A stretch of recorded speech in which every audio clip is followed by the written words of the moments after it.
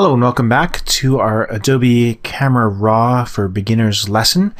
Uh, we've been going through a few different lessons on getting uh, comfortable with the basic adjustments and everything that they do, uh, seeing them in action and all that kind of fun stuff. So this time we're going to dive into a little bit more of the detail of Adobe Camera Raw and some of the other functions that it'll do. In particular, we're going to look at today this button right up here called the tone curve and everything that is does. So it'll be exciting. Now, first time you click on the tone curve and you see this picture here, you might be a little bit intimidated by exactly what's going on. Uh, it might feel like you don't want to click on that tab anymore. But uh, those that are familiar with uh, Photoshop and their levels and their curves will probably be very comfortable here. Uh, for those that aren't, um, we'll, we'll kind of dispel some of the mystery behind what exactly is going on and, and show you how you can use this tone curve tab uh, in your post-production to make uh, your pictures better. So as a basic understanding of what the tone curve does, you'll notice right away you'll have sort of this picture here with a graph um, underneath it. And you'll notice right away that this here is the histogram of what is going on up here. So it's really not that uh, confusing. Uh, this is your histogram here. So this is what we're going to be doing is when we edit here in the tone curve, we're actually going to be editing our histogram. So that makes sense. Now, the tone curve is actually broken down into two different areas. Um, I guess I shouldn't say different, but they um, they're different forms of uh, of working with tones. The, the parametric and the point tone curve. The parametric is think of it as kind of the beginner's tone curve.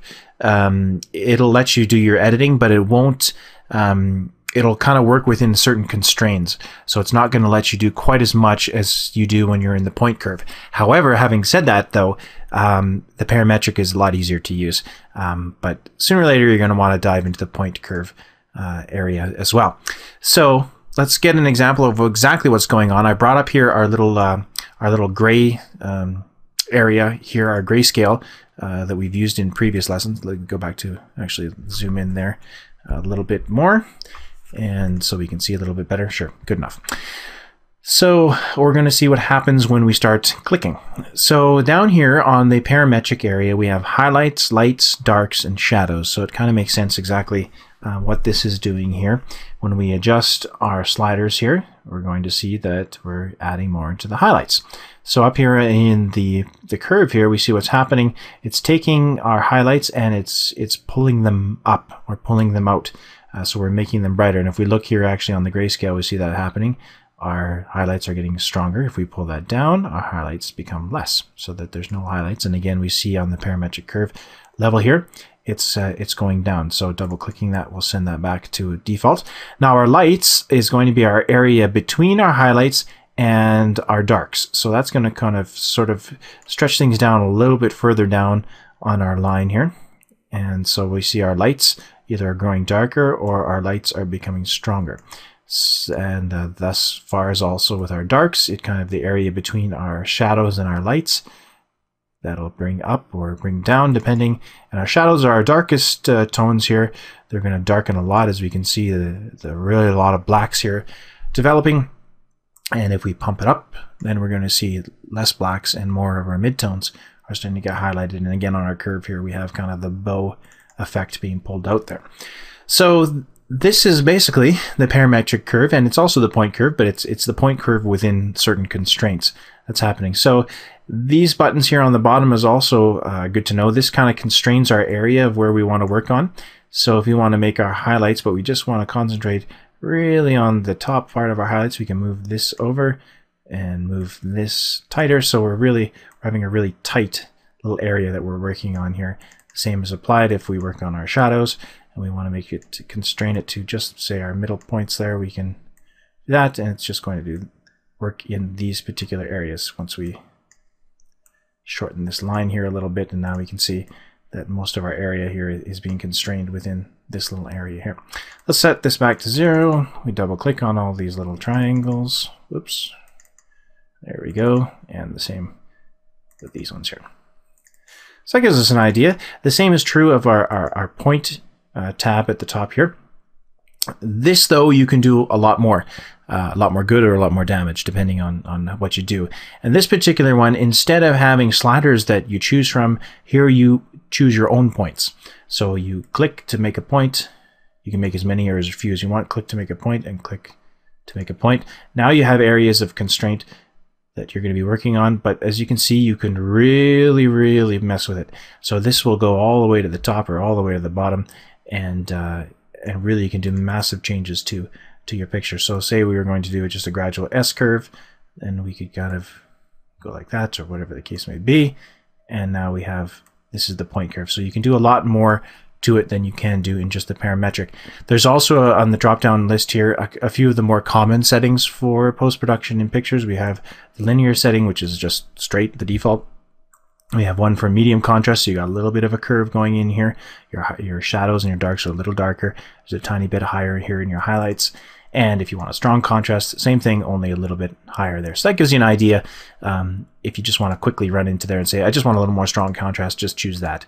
Uh, a lot of times you'll be using this linear though. So one thing to remember as well um, is if you do make points along the thing here and you want to get rid of them, a couple ways of doing it. You can either click on the point itself and choose delete on your keyboard, or you can actually grab the point and just pull it off the screen and that'll delete uh, the point as well. So now you're back to no points. So the point curve is, is, is, fairly good. Again, if you're comfortable with Adobe Photoshop and its curves menus, you'll be comfortable with this. Uh, if you want to just make your points and then you start pulling these around and they're going to just look kind of like, think of it like pulling back the string of a bow.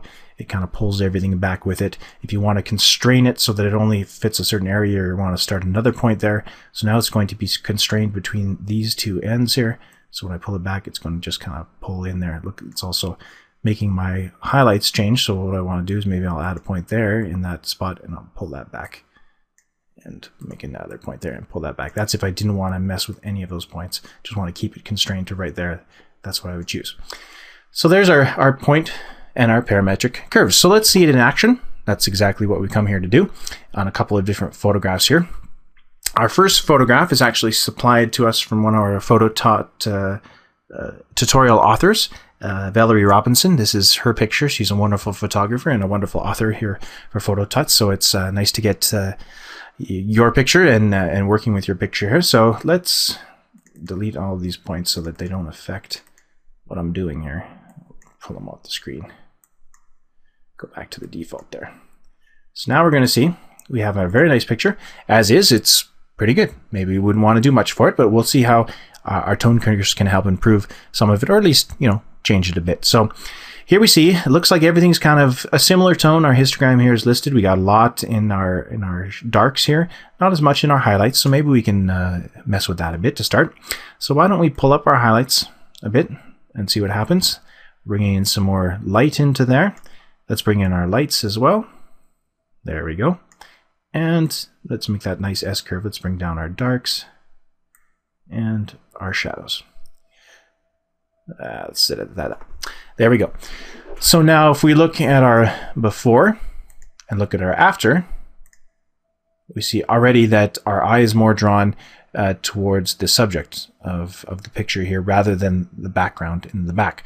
So that's already nice. So we've already improved it. We've already made that subject uh, stand out a little bit better. But usually with any type of adjustment in, in Adobe Camera Raw, we do more than just work in one area. So along with our tones curves, let's go to our basic panel and we can fiddle with that to see if we can improve it as well. Uh, let's see what happens if we bring in a little fill light to bring more into the foreground. That's not too bad. Let's bring up the blacks again with the fill light. A little too much blacks there. Let's bring up our contrast a tad. See what happens here.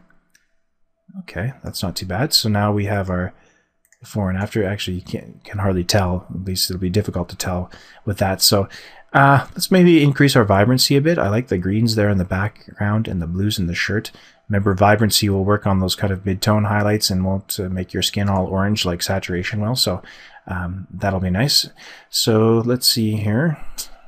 Maybe some recovery here. Let's see what happens. We'll do a little more fill light. That'll bring in lots, but kind of like the background to be a little darker so that the uh, subject here stands out. Okay, let's start with that. So let's This is our before and our after. Now, if you want to see your before and after with uh, everything that you've done, not just the uh, the basic adjustments, whenever you're in a in a panel and you use the preview, it'll only show you the adjustments you've made in that panel. It won't show you overall. For that, you have to go again to the last button here, your presets. And now when you do preview before and after, now you get exactly all the things that you've done to the picture will be shown as in the before and after stage. So there we go. We've we've uh, kind of darkened the background. We've brought out some more uh, highlights. We've darkened some of the shadows.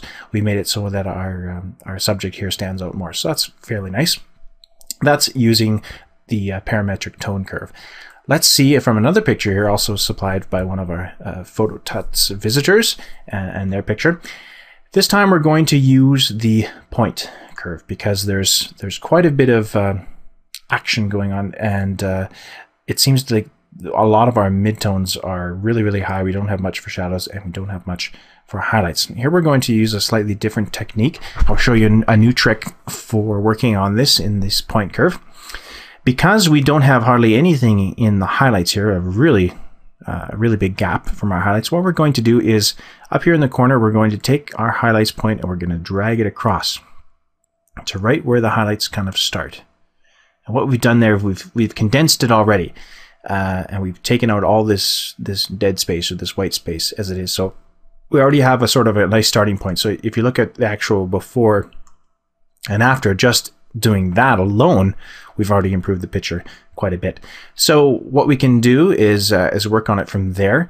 Uh, we can let's see, click on here in our highlights and see what happens when we pull those up a bit. Again, that brings in a lot of color, but the thing is that we've uh, made a little too light. So let's bring on our darks here.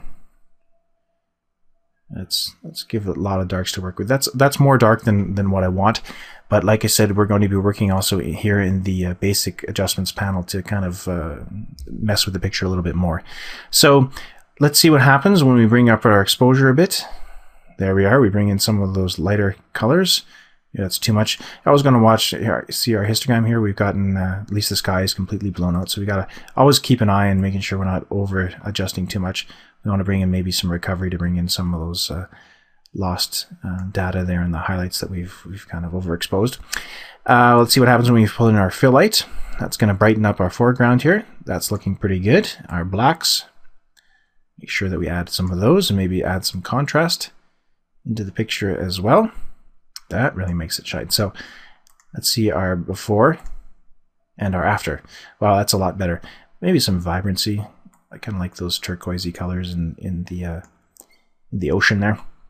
Another thing we want to do is maybe mess with our white balance, or we guess we could have started with that. Uh, from the looks of it, the picture it might have been cloudy, at least from the from the initial uh, picture we see. So if we choose cloudy, look at that. So now we get a lot more warmer tones in there as a white balance. I really like that. So uh, the sand really has a yellow feel to it. There's our before picture and our, oops, and our after picture. If we want to see everything we did, including the adjustments we made uh, to the tone curves, again, we go to our very last tab there, our presets, and choose our before and our after. Outstanding improvements already in that. Uh, again, we can do some further adjustments to that, but that gives you an idea of how we can kind of use a, a tone curve here to bring uh, down your some of the highlights, or bring up some of the highlights rather, and bring down some of those shadows and those darker colors um, as well. Another nice little feature here is, is kind of an added bonus when you're using the point curve. If you're unsure exactly uh, which highlight or where the highlight is you're working with in corresponding to the range uh, here on your curve, what you can do is you can uh, hold down the command key or the can on the Mac or the control key on the PC. And what that does is while you hover over the picture, you'll notice up in our curve how it's going up and down and up and down. So it tells you exactly what part of that picture you need to uh, to click on if you're going to be doing an adjustment there. So example, if we were going to say, let's these highlights here in the lower part of the of the beach here are blown out. We cover it over there. We click on there. That'll establish a point that's exactly in that spot. And now we can just adjust just those areas there.